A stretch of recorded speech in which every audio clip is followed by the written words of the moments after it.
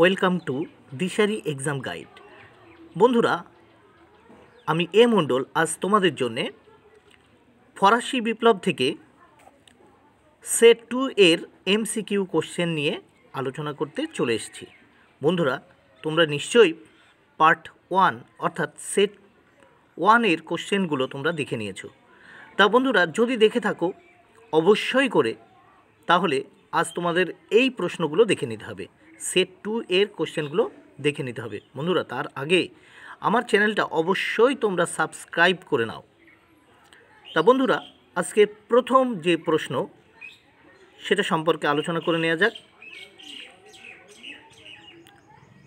বিয়াল্লিশ নম্বর প্রশ্ন, ভালমির যুদ্ধ হয়েছিল কত খ্রিস্টাব্দে? অপশান ক, সতেরোশো উননব্বই খ্রিস্টাব্দে, খ, সতেরোশো নব্বই খ্রিস্টাব্দে, গ সতেরোশো একানব্বই খ্রিস্টাব্দে, ঘ, সতেরোশো বিরানব্বই খ্রিস্টাব্দে। উত্তর, ঘ, সতেরোশো বিরানব্বই খ্রিস্টাব্দে। ভালমির যুদ্ধ হয়েছিল সতেরোশো বিরানব্বই খ্রিস্টাব্দে। তেতাল্লিশ নম্বর প্রশ্ন।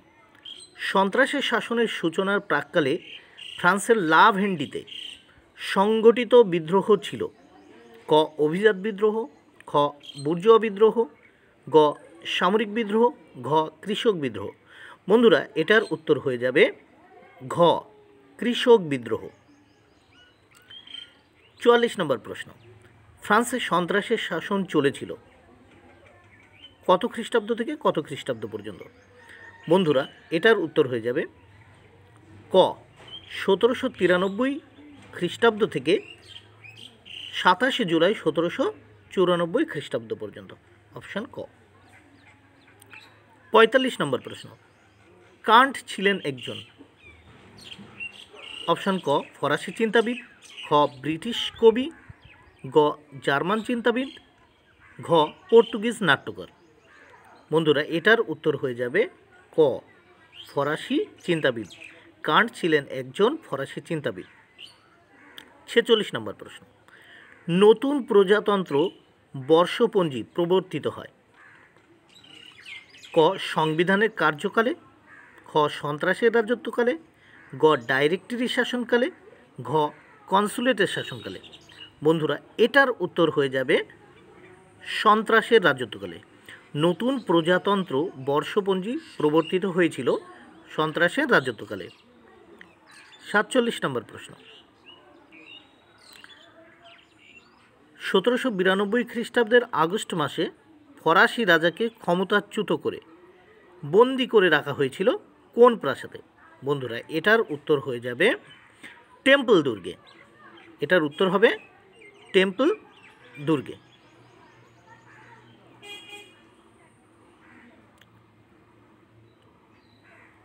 বন্ধুরা, সাতচল্লিশ নাম্বার প্রশ্নের প্রশ্নটা নিয়ে আমি আবার একবার আলোচনা করছি। সতেরোশো বিরানব্বই খ্রিস্টাব্দের আগস্ট মাসে ফরাসি রাজাকে ক্ষমতাচ্যুত করে বন্দি করে রাখা হয়েছিল। বাস্তিল দুর্গে খ টুইলারিস রাজপ্রাসাদে, গ আইনসভায়, ঘ টেম্পল দুর্গে উত্তর টেম্পল দুর্গে আটচল্লিশ নম্বর প্রশ্ন। জাতীয় মহাসভা, রাজা ষোড়শলুইকে হত্যা করেছিল। সতেরোশো তিরানব্বই খ্রিস্টাব্দের কোন তারিখে? ক বিশে জানুয়ারি, খ একুশে জানুয়ারি গ, বিশে জানু, ফেব্রুয়ারি, ঘ, একুশে ফেব্রুয়ারি। উত্তর, খ, একুশে জানুয়ারি। ঊনপঞ্চাশ নম্বর প্রশ্ন। ফরাসি সংবিধান সভার কার্যকাল ছিল। কত থেকে কত খ্রিস্টাব্দ? ক, সতেরোশো উননব্বই থেকে একানব্বই খ্রিস্টাব্দ। খ, সতেরোশো উননব্বই থেকে একানব্বই। বন্ধুরা, এখানে প্রিন্টিং মিস্টেক আছে। দুটো সাল তারিখই একই দেওয়া আছে। বন্ধুরা, এখানে প্রথম দুটো যে উত্তর দেওয়া আছে একই, তাহলে এই দুটো উত্তরই সঠিক।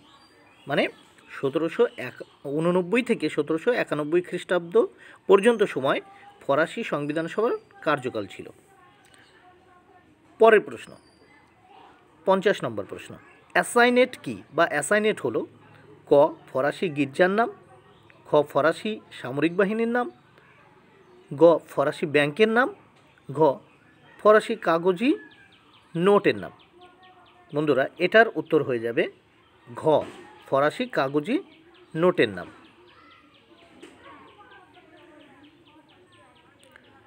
বন্ধুরা, এর পরের প্রশ্ন ধর্মযাজকদের সংবিধান বা civil constitution of the clergy seventeen ninety one, এর দ্বারা কি সংগঠিত হয়েছিল? ক গির্জার ওপর পোপের কর্তৃত্বের অবসান ঘটে, খ গির্জার ওপরে পোপের কর্তৃত্ব প্রতিষ্ঠা হয়, গ গির্জার ওপরে পোপের কর্তৃত্ব একটু হ্রাস পায়, ঘ কোনোটিই নয়। বন্ধুরা, এটার উত্তর হয়ে যাবে ক। গির্জার ওপর থেকে পোপের কর্তৃত্বের অবসান ঘটে। গির্জার ওপর থেকে পোপের কর্তৃত্বের অবসান ঘটে। তিপ্পান্ন নম্বর প্রশ্ন। ফরাসি সমাজে অধিকারভোগী শ্রেণি বলা হতো কাদের? ফরাসি সমাজে অধিকারভোগী শ্রেণি কাদের বলা হতো? অপশান ক সাকুলেরদের খ, যাজকদের, গ, অভিজাতদের, ঘ, যাজক ও অভিজাতদের। বন্ধুরা, এটার উত্তর হয়ে যাবে ঘ, যাজক ও অভিজাতদের। চুয়ান্ন নম্বর প্রশ্ন। ফরাসি সমাজে অধিকারহীন শ্রেণি বলা হতো। কাদের অধিকারহীন শ্রেণি বলা হতো? অপশান কতে আছে, যাজক ও অভিজাতদের, খ সাকুলেরদের গ, অভিজাতদের, ঘ, যাজকদের। বন্ধুরা, অধিকারহীন শ্রেণি বলতে তৃতীয় শ্রেণির মানুষদের বলা হতো, আর এখানে সাকুলেতরা ছিল তৃতীয় শ্রেণির মানুষ। পঞ্চান্ন নম্বর প্রশ্ন। ফ্রান্সকে রাজনৈতিক কারাগার বলেছেন। কে বলেছেন? এদের ভিতর ক রুশো, খ মন্তেস্কু, গ ভলতিয়ার, ঘ দিদেরো বন্ধুরা, এটার উত্তর হয়ে যাবে গ ভলতিয়ার। ফ্রান্সকে রাজনৈতিক কারাগার বলেছিলেন ভলতিয়ার। ছাপ্পান্ন নম্বর প্রশ্ন।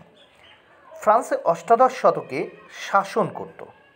অষ্টাদশ শতকে কারা শাসন করত? ক পূর্ব বংশ খ অটোমান বংশ, গ ক্যারোলেঞ্জিও বংশ, ঘ. অলিয়েন্স বংশ। বন্ধুরা, এটার উত্তর হয়ে যাবে পূর্ব বংশ। সাতান্ন নম্বর প্রশ্ন।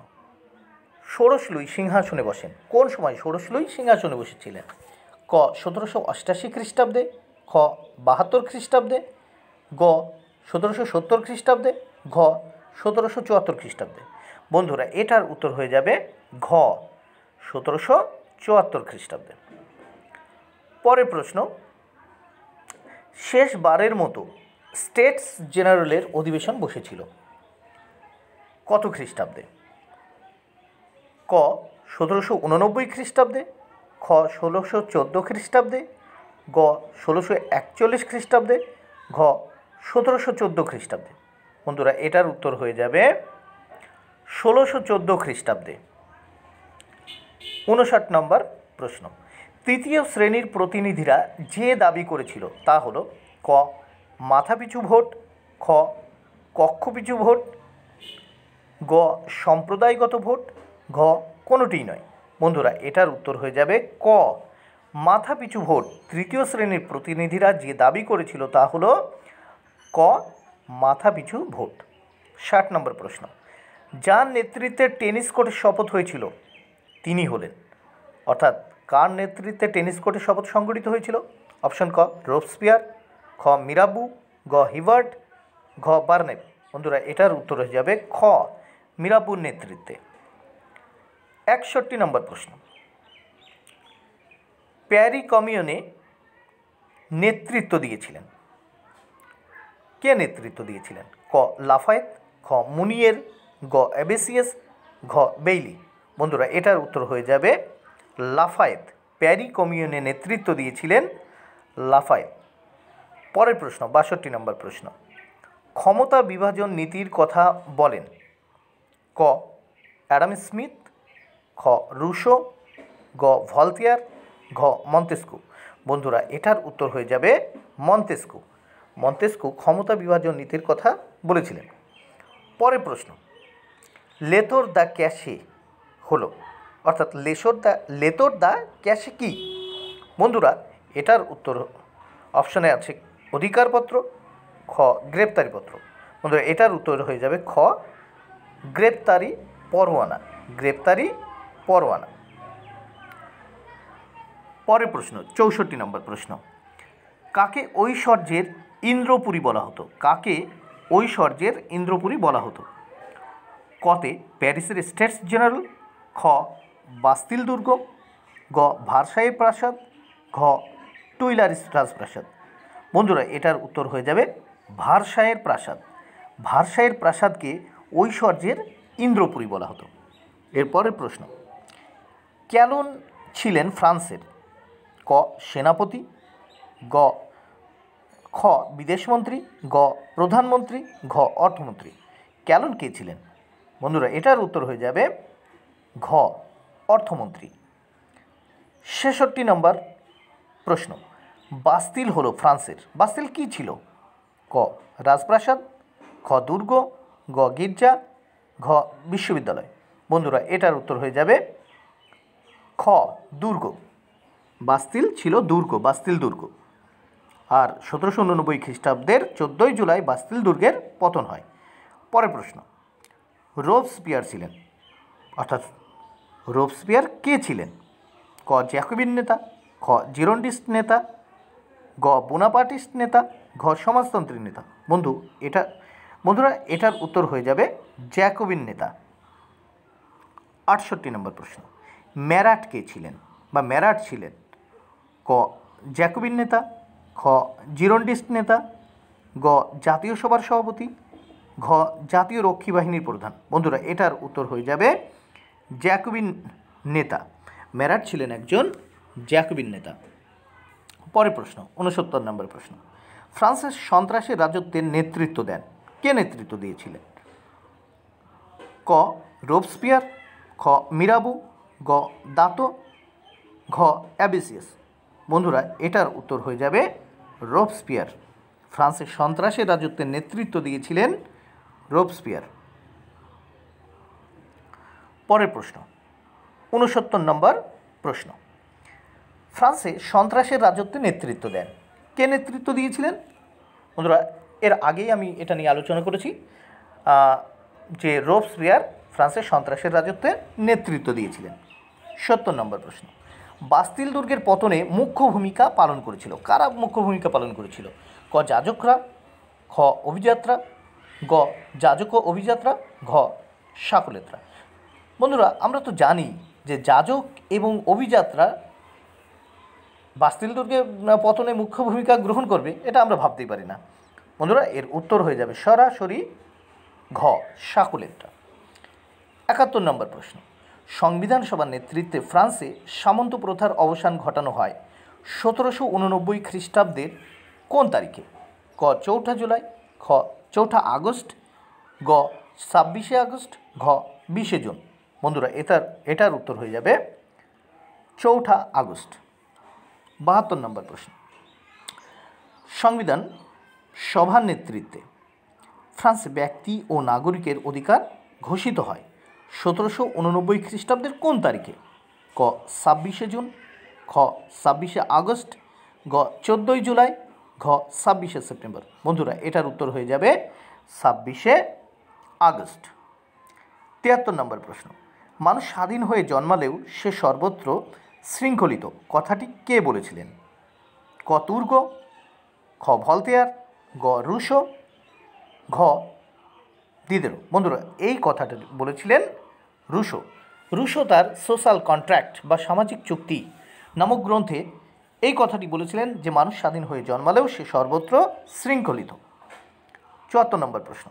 নতুন ফরাসি সংবিধান প্রণয়ন করা হয়েছিল। নতুন ফরাসি সংবিধান প্রণয়ন করা হয়েছিল কোন সময়? বন্ধুরা, এটার উত্তর হয়ে যাবে ঘ, সতেরোশো একানব্বই খ্রিস্টাব্দের তিরিশে সেপ্টেম্বর। সতেরোশো একানব্বই খ্রিস্টাব্দের তিরিশে সেপ্টেম্বর, ঘ।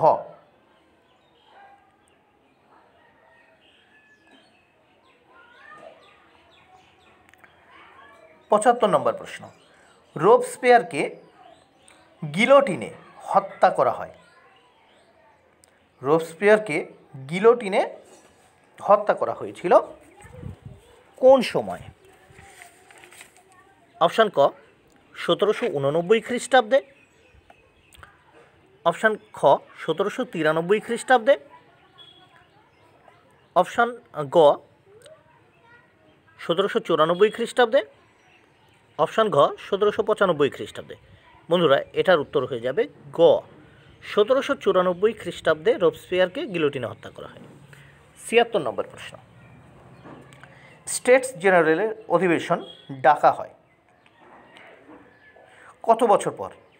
অপশান ক, পঁচানব্বই বছর পর। খ, একশো বছর পর। গ, একশো পঞ্চাশ বছর পর, ঘ, একশো পঁচাত্তর বছর পর। বন্ধুরা, এটার উত্তর হয়ে যাবে একশো পঁচাত্তর বছর পর।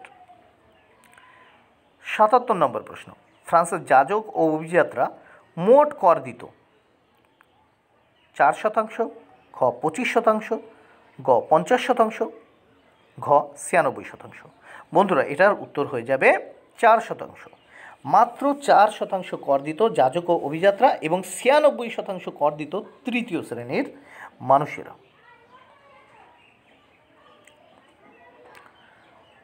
বন্ধুরা, আটাত্তর নম্বর প্রশ্ন।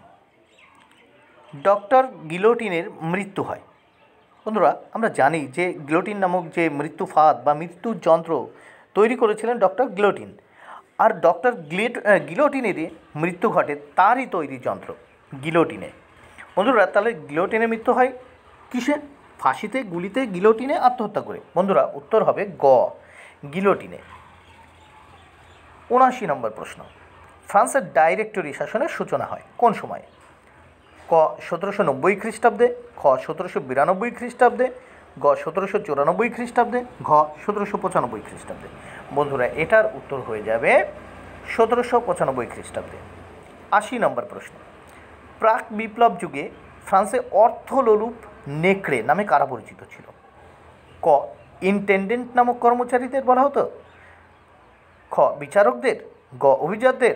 ঘ, বুর্জুয়াদের। বন্ধুরা, এটার উত্তর হবে ক, ইনটেন্ডেন্ট নামক কর্মচারীদের। বন্ধুরা, সম্পূর্ণ ভিডিওটি দেখার জন্যে তোমাদের আমি ধন্যবাদ জানাই। আর বন্ধুরা, যদি এই ভিডিওটি ভালো লাগে তোমরা বেশি বেশি করে লাইক কমেন্ট ও শেয়ার করো আর আমার চ্যানেলটা সাবস্ক্রাইব করো। তাই এখানেই শেষ করছি। Thank you very much